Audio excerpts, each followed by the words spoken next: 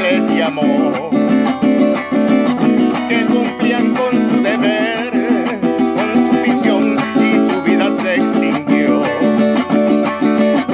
A todos sus familiares y a sus amigos vaya nuestra gratitud y a todos sus compañeros les queremos recordar su valentía, compromiso y actitud. Muchas gracias al colegio.